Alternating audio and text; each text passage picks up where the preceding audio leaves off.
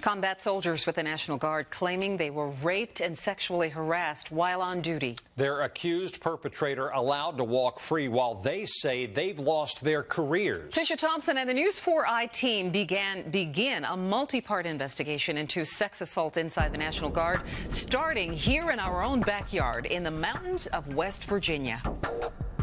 Captain Dendra Weaver says she's fought tough battles throughout her decade long career in the West Virginia National Guard. I think I'm pretty tough. I've seen some stuff and I had my breaking point in Afghanistan. But the real battle, she says, started when she returned home to Charleston, West Virginia. The inappropriate conversations that were very lewd and sexual in nature that he would send me. Uncomfortable private Facebook messages from her high ranking boss. She says she tried to avoid them until one day he ordered her into his office. He said, Captain, if you repeat one word I say in here to anyone, I will kill you. Do you understand me? Frightened he could destroy her career, but wanting this sexual harassment to stop, Weaver says she went to the one woman she felt she could trust, Lieutenant Colonel Teresa James, one of the highest ranking women inside the West Virginia National Guard. She was a fast tracker. But what Captain Weaver did not know I was like, oh my God, he's going to do the same thing to her that he did to me. is James also had a secret about the very same man.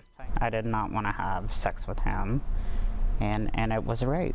James says after Weaver confided in her, she started to hear about other women claiming they too were sexually harassed or assaulted by the same man. Dealing with that guilt of, had I said something earlier, you know, perhaps, you know, if I wouldn't have been so selfish.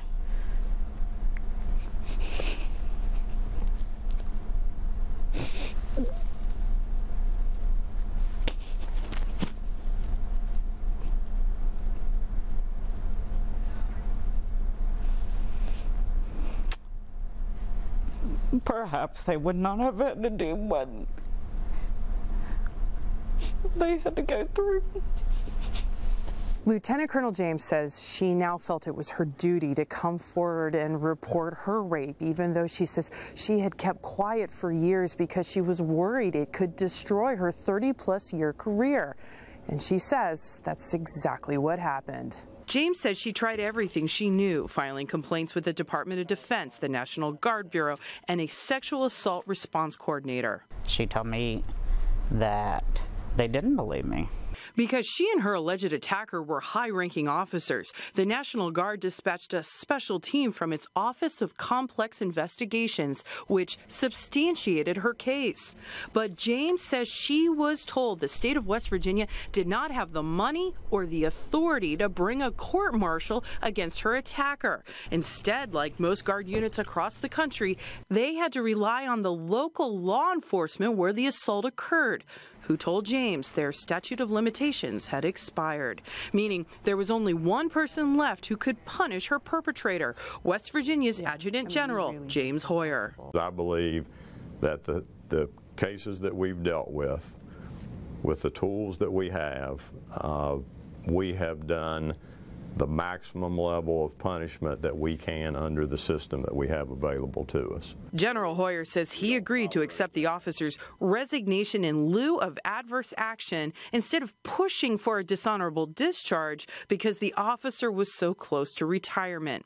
The two star general says he also delayed the officer from getting his $62,000 a year pension by placing two letters of reprimand into his file. One of the reasons that we've done those is to uh, impact their ability not to get a job in a federal agency or a state agency. But Captain Weaver and Lieutenant Colonel James say they think the officer got off lightly, while they both feel retaliated against by being ordered to undergo medical evaluations, questioning whether they were fit for duty. It was a career killer. It was, absolutely. I absolutely have been reprised against. We have not retaliated against individuals, and all the cases that have come forward to us related to sexual assault, sexual harassment, inappropriate conduct, we have a record of dealing with perpetrators. It's probably one of the hardest things that I've ever had to do is to report that. Um, Harder than going to war. yes. I've lost everything and I did nothing wrong. I lost my opportunity to continue to serve, be a full bird colonel. It was a goal. And it'll never happen. Lieutenant Colonel James says if she had known her guard unit couldn't bring a court martial, she would never have come forward.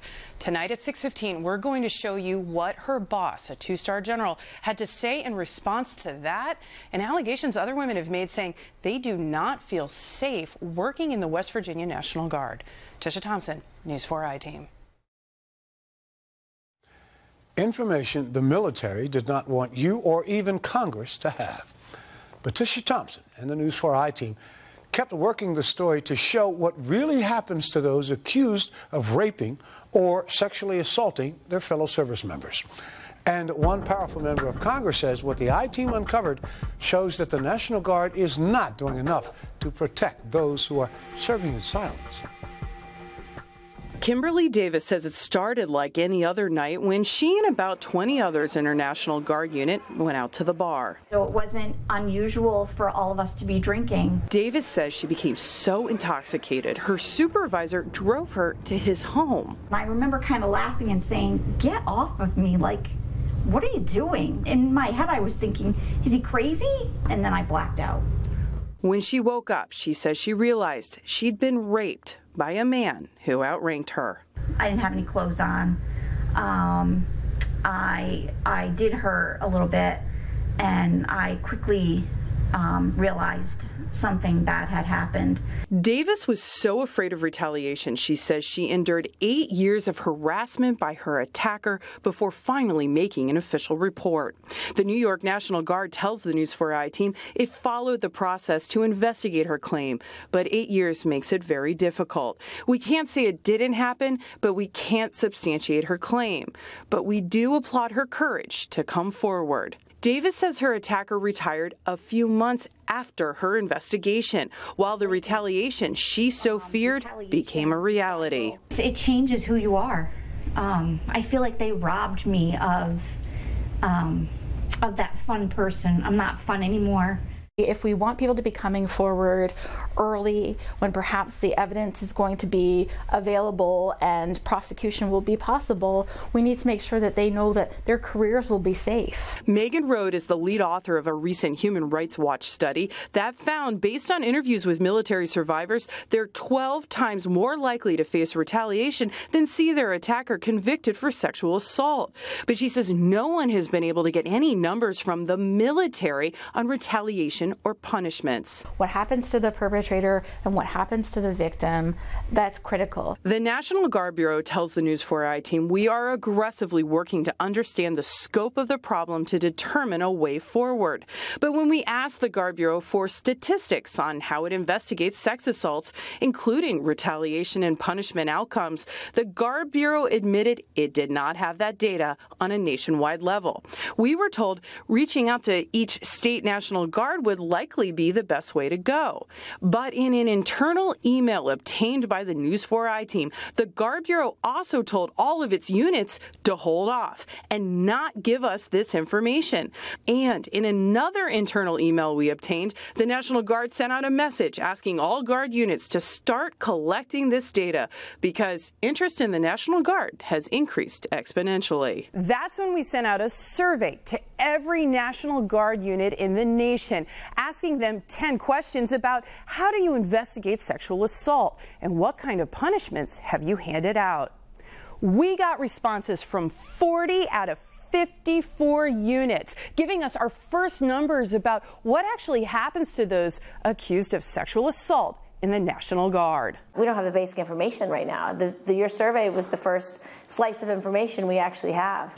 New York Senator Kirsten Gillibrand says even Congress hasn't been able to get the information we gathered, and she was stunned by what we uncovered. Only six states held a court martial for sexual assault within the last five years, resulting in just three incarcerations and one dishonorable discharge. Most states used less serious types of discharge or administrative punishments like letters of reprimand.